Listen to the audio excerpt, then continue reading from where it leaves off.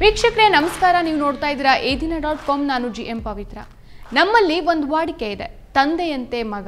ಇಲ್ಲೂ ಕೂಡ ಅದೇ ಆಗಿದೆ. ಅಂದರೆ ದೇಶದಲ್ಲಿ ಈಗ ಪೌರತ್ವ ತಿದ್ದುಪಡಿ ಕಾಯ್ದೆ ಅಥವಾ ಸಿ ಎ ಎ ಜಾರಿ ಬಗ್ಗೆ ಭಾರೀ ವಿರೋಧ ಚರ್ಚೆಗಳು ವ್ಯಕ್ತ ಆಗ್ತಾ ಇದೆ. ಇಂಥ ಸಂದರ್ಭದಲ್ಲೇ ಸಿ ಡಿವೈ ಐ ಚಂದ್ರಚೂಡ್ ಅವರ ಮಗ ಅಭಿನವ್ ಚಂದ್ರಚೂಡ್ ಅವರು ಇದೇ ಸಿಎಎ ವಿರುದ್ಧವಾಗಿ ಎರಡ್ ಸಾವಿರದ ಇಪ್ಪತ್ತರಲ್ಲಿ ಮಾಡಿದಂಥ ಭಾಷಣವೊಂದು ಈಗ ವೈರಲ್ ಆಗ್ತಾ ಇದೆ. ಈ ಭಾಷಣದ ಉದ್ದಕ್ಕೂ ಕೂಡ ಅಭಿನವ್ ಅವರ ಮಾತಿಗೆ ಚಪ್ಪಾಳೆಗಳ ಸುರಿಮಳೆಯನ್ನೇ ನಾವಿಲ್ಲಿ ಕೇಳಬಹುದು. Let I thought let me begin by really addressing the question that I guess is foremost on everyone's mind, which is that is the CAA, the citizenship amendment act unconstitutional is it anti Muslim? And is it pro Hindu?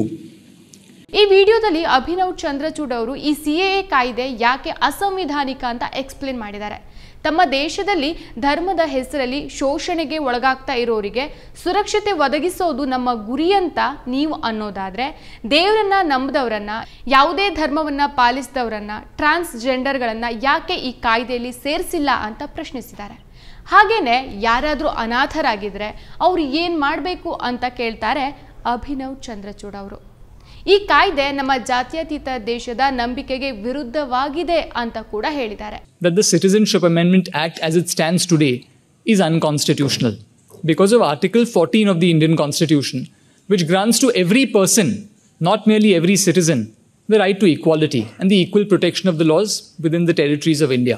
ಕೇಳಿದ್ರಲ್ವಾ?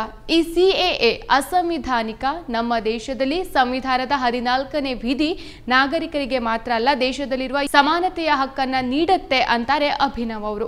I not able to understand why Jews have been left out from the citizenship amendment act ಇನ್ನು ಕೆಲವು ಅಲ್ಪಸಂಖ್ಯಾತರನ್ನ ಈ ಕಾನೂನಿನಲ್ಲಿ ಸೇರಿಸಲಾಗಿಲ್ಲ ಅಂತ ಕೂಡ ಅಭಿನವ್ ಅವರು ಹೇಳ್ತಾರೆ. ಯಹೂದಿಗಳನ್ನ ಈ ಕಾನೂನಿಂದ ಯಾಕೆ ಹೊರಗಿಡಲಾಗಿದೆ ಅಂತ ನನಗೆ ಅರ್ಥ ಆಗ್ತಾ ಇಲ್ಲ And on social media, when I posted a paper that I'd written, somebody said, Well, Jews have Israel. Okay? But we have one of my very good friends is a Jew in Calcutta. Jews also have India. And if Jews have Israel, then Christians and Buddhists have their own countries too. We've included Christians and Buddhists, but we've left out Jews. That doesn't make sense to me. ನಾನು social ಮೀಡಿಯಾದಲ್ಲಿ ಇದರ ಬಗ್ಗೆ post ಮಾಡಿದಾಗ ಕೆಲವರು ಯಹೂದಿಗಳಿಗೆ Israel ಇದೆ ಅಂತ ಹೇಳ್ತಾರೆ. ಆದರೆ ಯಹೂದಿ ಸಮುದಾಯಕ್ಕೆ ಸೇರಿದ ನನ್ನ ಸ್ನೇಹಿತ ಕಲ್ಕತ್ತಾದಲ್ಲಿದ್ದಾನೆ. ಯಹೂದಿಗಳಿಗೆ ಭಾರತ ಕೂಡ ಇದೆ. ಯಹೂದಿಗಳಿಗೆ ಇಸ್ರೇಲ್ ಇದೆ ಅಂತಾದರೆ ಬೌದ್ಧರಿಗೆ ಮತ್ತು ಕ್ರೈಸ್ತರಿಗೂ ಕೂಡ ಅವರವ್ರದೇ ಆದಂಥ ದೇಶಗಳಿದೆ. ನಾವು ಸಿ ಎಲ್ಲಿ ಬೌದ್ಧರು ಹಾಗೂ ಕ್ರೈಸ್ತರನ್ನ ಸೇರಿಸಿದ್ದೀವಲ್ವಾ?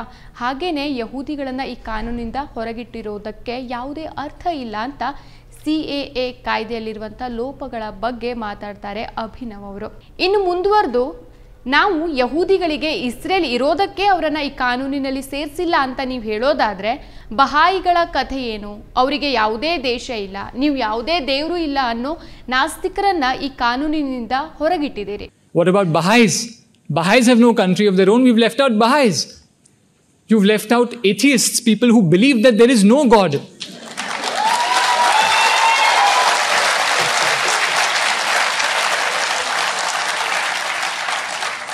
ನೀವು ಪಾಕ್ ಅಫ್ಘಾನ್ ಅಲ್ಪಸಂಖ್ಯಾತರನ್ನ ಈ ಕಾಯ್ದೆಯಲ್ಲಿ ಅರ್ಹ ಅನ್ನೋದೇ ಆದರೆ ಪಾಕ್ನ ಅಲ್ಪಸಂಖ್ಯಾತರನ್ನು ಕೂಡ ಕಾಯ್ದೆಯಲ್ಲಿ ಸೇರಿಸಿಲ್ಲ. ಅಹಮದಿಯ ಮತ್ತು ಹಜಾರೈ ಸಮುದಾಯದವರು ಪಾಕಿಸ್ತಾನದಲ್ಲಿ ಅಲ್ಪಸಂಖ್ಯಾತರು. ಅವರನ್ನ ಈ ಕಾಯ್ದೆಯಲ್ಲಿ ಅರ್ಹರ ಪಟ್ಟಿಯಲ್ಲಿ ಸೇರಿಸಿಲ್ಲ. ನೀವು ಪಾಕ್, ಅಫ್ಘಾನ್, ಬಾಂಗ್ಲಾ ಬಿಟ್ಟು ಇತರೆ ನೆರೆ ದೇಶಗಳನ್ನ ಸಿ ಕಾನೂನಿನಲ್ಲಿ ಕೈಬಿಟ್ಟಿದ್ದೀರಿ ಅಂತ ಕೇಂದ್ರದ ಸಿ ಎ ಅನ್ನ ನ್ಯಾಯಾಧೀಶ ಡಿವೈ ಚಂದ್ರಚೂಡ್ ಅವರ ಪುತ್ರ ಟೀಕಿಸಿದ್ದಾರೆ. You've left out categories of Muslims who may be considered minorities in countries like Pakistan and Bangladesh, categories like Ahmadiyas or Hazares. So there are religious groups that have been excluded. ಇನ್ನು ಸಾಮಾನ್ಯವಾಗಿ ಯಾರೇ ಭಾರತದ ಪೌರತ್ವವನ್ನು ಪಡಿಬೇಕಾದ್ರೆ ಹನ್ನೊಂದು ವರ್ಷ ಕಾಯಬೇಕಾಗಿರುತ್ತೆ ಆದರೆ C A ಅಡಿಯಲ್ಲಿ ನಾಗರಿಕತೆ ಪಡೆಯೋದಾದರೆ ಐದು ವರ್ಷದಲ್ಲೇ ಸಿಗತ್ತೆ ಅಂದರೆ ಇರಾನ್ನಿಂದ ಪಾರ್ಸಿಗಳು ಭಾರತಕ್ಕೆ ಬಂದರೆ ಅವರು ಪೌರತ್ವ ಪಡೆಯೋಕೆ ಹನ್ನೊಂದು ವರ್ಷ ಕಾಯಬೇಕಾಗತ್ತೆ. ಆದರೆ ಅಫ್ಘಾನಿಸ್ತಾನದಿಂದ ಪಾರ್ಸಿಗಳು ಬಂದರೆ ಸಿ ಎ ಅಡಿಯಲ್ಲಿ ಬರೀ ಐದು ವರ್ಷ ಭಾರತದಲ್ಲಿ ಇದ್ರೆ ಸಾಕು ಅವರಿಗೆ ನಾಗರಿಕತ್ವ ಸಿಗತ್ತೆ. ಈ ಕಾಯ್ದೆ ಅಸಂವಿಧಾನಿಕ ಅನ್ನೋದಕ್ಕೆ ಇದು ಕೂಡ ಒಂದು ಕಾರಣ ಅಂತ ಅಭಿನವ್ ಅವರು ಹೇಳ್ತಾರೆ. What really perplexes me is, and, and this, is, this is something, uh, one of the other reasons why one could argue that it's unconstitutional, is that the residence requirement in India is reduced by the Citizenship Amendment Act. So anyone else who wants to apply to be a citizen by naturalization has to reside in India for 11 years. But for somebody who falls within the Citizenship Amendment Act, the, re- the residence requirement is only five years. Now, what really perplexes me is that look how this applies to the, the group that we all know as Parsis. Parsis originally fled Iran. There are still Parsis who live in Iran under circumstances that one might consider to be very repressive. A Parsi who flees religious persecution in Iran and comes to India has to wait 11 years to be naturalized as a citizen. But a Parsi who flees religious persecution in Afghanistan has to wait in India for only five years to be a naturalized citizen. That doesn't make any sense to me. CAA, Pakistan, Bangladesh ಮತ್ತು ಅಫ್ಘಾನಿಸ್ತಾನದಿಂದ ಎರಡ್ ಸಾವಿರದ ಹದಿನಾಲ್ಕರ December ಮೂವತ್ತೊಂದಕ್ಕೂ ಮೊದಲು ಬಂದಂಥ ಮುಸ್ಲಿಮೇತರ ಅಲ್ಪಸಂಖ್ಯಾತರಿಗೆ ಪೌರತ್ವವನ್ನು ನೀಡುವಂಥ ಕಾಯ್ದೆ. ಈ ಕಟ್ ಆಫ್ ಡೇಟ್ ಬಗ್ಗೆ ಅಭಿನವ್ ಅವರು ಪ್ರಶ್ನೆ ಮಾಡ್ತಾರೆ. ಸಿಎಎ ಅಸಂವಿಧಾನಿಕ ಅನ್ನೋದು ನಮ್ಮಲ್ಲಿರುವಂಥ ಮತ್ತೊಂದು ಕಾರಣ? ಇದರ ಕಟ್ ಆಫ್ ಡೇಟ್ ಈ ಕಾನೂನು ಎರಡ್ ಸಾವಿರದ ಹದಿನಾಲ್ಕರ ಡಿಸೆಂಬರ್ ಮೂವತ್ತೊಂದಕ್ಕೂ ಮೊದಲು ಭಾರತಕ್ಕೆ ಬಂದಂಥ ಅಲ್ಪಸಂಖ್ಯಾತರಿಗೆ ಪೌರತ್ವ ನೀಡುತ್ತೆ. ಆದರೆ ನೀವು ಎರಡ್ ಸಾವಿರದ ಹದಿನೈದು ಜನವರಿ ಒಂದರಂದು ಭಾರತಕ್ಕೆ ಬಂದರೆ ನೀವು ಸಿ ಎ ಎನ ಕಾಯ್ದೆಯ ಅಡಿ ಬರೋದಿಲ್ಲ. ನಾವು ಹದಿನೆಂಟು ವರ್ಷಕ್ಕಿಂತ ಒಂದು ದಿನ ಸಣ್ಣವರಾದರೂ ಕೂಡ ನಮಗೆ ವೋಟರ್ ಐ ಡಿ ಸಿಗೋದಿಲ್ಲ. ಅದೇ ರೀತಿ ಮದುವೆ ಆಗಬೇಕಾದರೂ ಕೂಡ ನಮ್ಮ ವಯೋಮಿತಿ ಇಂತಿಷ್ಟಂತ ಇರಲೇಬೇಕಾಗಿರತ್ತೆ. ಮದ್ಯಪಾನಕ್ಕೂ ಕೂಡ ಇದು ಅನ್ವಯ ಆಗತ್ತೆ. ಆದರೆ ಈ ಕಾಯ್ದೆ ಈ ರೀತಿ ಕಟ್ ಆಫ್ ಡೇಟ್ ಇರೋದು ಮಾನವೀಯತೆಯನ್ನು ಕಡೆಗಣಿಸಿದಂಗೆ ಆಗತ್ತೆ ಅಂತ ಅಭಿನವ್ ಅವ್ರು ಹೇಳಿದ್ದಾರೆ. There are other reasons why one could argue that the Citizenship Amendment Act is unconstitutional. One is the cutoff date. The cutoff date is 31st December 2014. So if you suffer religious persecution before 31st December 2014, but you come to India on the 1st of January 2015, then you are not entitled to the protections of the Citizenship Amendment Act. Now, look, one must, I must point out that bright line rules are imposed by the law. For example, you can vote at the age of 18. So, if I'm a day younger than 18 before the general elections, I'm not entitled to vote. Similarly, you are entitled to marry at a certain age, you're entitled to drink alcohol at a certain age. The law does impose bright line rules. But here, the bright line rule that has been imposed seems to undermine the ostensibly humanitarian objective of the law, which is that if you want to ಇನ್ನು ಮುಂದೆ ಮಾತಾಡ್ತಾ ಉನ್ನತವಾದ ವಿಚಾರಗಳನ್ನು ಹೇಳ್ತಾ ಹೋದ್ರು.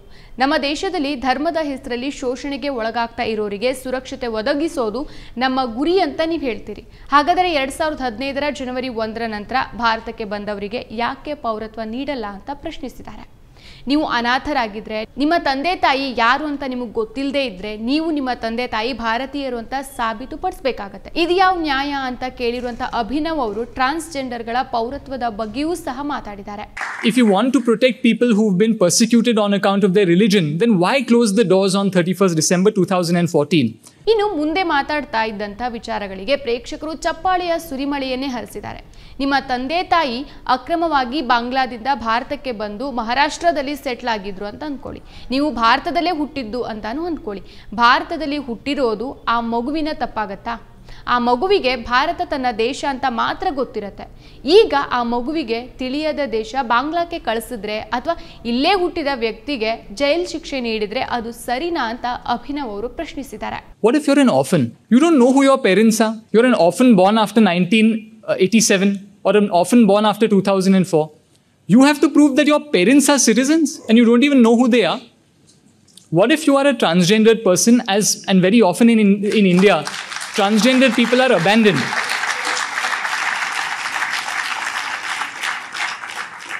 Transgendered people are abandoned at birth. Again, you don't know who your parents are. How do you establish that your parents were Indian citizens?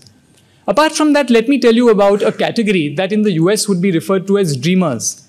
Let's assume that you are actually an illegal, you know who your parents are. Your parents are both illegal Bangladeshi immigrants in India. They both came to India, they crossed the border illegally, they came and they settled down in Maharashtra, and you were born in Maharashtra. Now I ask you a question Is it the fault of that child being born in India? Is being born a crime? Now, that child did not come here illegally. That child has only known India as his or her homeland. Is it fair to now deport that person to a country that that person has never known or to jail that person simply for the crime of being born in India?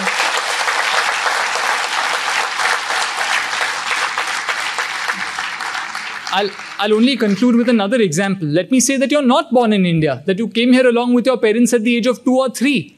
Again, when you cross the border along with your illegal immigrant parents, it's not your fault that you came here, but the law tends to operate harshly against dreamers. I'm happy to discuss uh, some of these points. Um, uh, there's some more problems with Indian citizenship, uh, citizenship law uh, in the question and answer session. Uh, I'm really grateful to all of you. Thank you ಈ ನಡುವೆನೆ ದೇಶದಲ್ಲಿ ಚುನಾವಣಾ bond ಬಗ್ಗೆ ಚರ್ಚೆ ಆಗ್ತಿರುವಾಗ ಜನರನ್ನ ಈ ವಿಷಯದಿಂದ ಬೇರೆಡೆ ಸೆಳೆಯೋಕೆ ಸಿಎಎ ಜಾರಿ ಮಾಡಲಾಗಿದೆ. ಮತ್ತು ಚುನಾವಣಾ ಲಾಭ ಪಡೆಯೋಕೆ ಇದನ್ನ ಜಾರಿ ಮಾಡಲಾಗಿದೆ. ಗೋಧಿ ಮೀಡಿಯಾ ಕೂಡ ಇದಕ್ಕೆ ಪ್ರಚಾರ ನೀಡ್ತಾ ಇದೆ. ಇವೆಲ್ಲವೂ ಕೂಡ ಕೇಂದ್ರ ಸರ್ಕಾರದ ತಂತ್ರ ಅನ್ನೋದು ಸ್ಪಷ್ಟ ಆಗತ್ತೆ. ಈಗ ಮತ್ತೊಂದು ಬಾರಿ ಎರಡ್ ಸಾವಿರದ ಇಪ್ಪತ್ತರ ಅಭಿನವ್ ಚಂದ್ರಚೂಡ ಅವರ ಈ ಭಾಷಣ ಮಗದೊಮ್ಮೆ ವೈರಲ್ ಆಗ್ತಾ ಇದೆ. ಅದು ಕೂಡ ಈಗ ಅವರ ತಂದೆಯೇ ಸುಪ್ರೀಂ ಕೋರ್ಟ್ನ ಮುಖ್ಯ ನ್ಯಾಯಾಧೀಶರಾಗಿರುವಾಗಲೇ ತಮ್ಮ ಅದ್ಭುತ ವಿಚಾರ ಮಂಡನೆಯಿಂದ ಸಿಎಎ ಹೇಗೆ ಅಸಂವಿಧಾನಿಕ ಎಂಬುದನ್ನು ರುಜುವಾತ್ಪಡಿಸಿದ್ದಾರೆ. ಇಂತಹ ನೈಜ ಸುದ್ದಿಗಳಿಗಾಗಿ ನೋಡ್ತಾ ಇರಿ ಈ ದಿನ ಡಾಟ್ ಕಾಮ್. ಮತ್ತಷ್ಟು ವಿಶೇಷ ವಿಡಿಯೋಗಳನ್ನು ನೋಡಲು ಮತ್ತು ಹೊಸ ವಿಡಿಯೋಗಳ ಬಗ್ಗೆ ತಿಳಿಯಲು ಈ ದಿನ dot com YouTube channel subscribe ಮಾಡಿ ಮತ್ತು ಬೆಲ್ ಐಕಾನ್ ಕ್ಲಿಕ್ ಮಾಡಿ.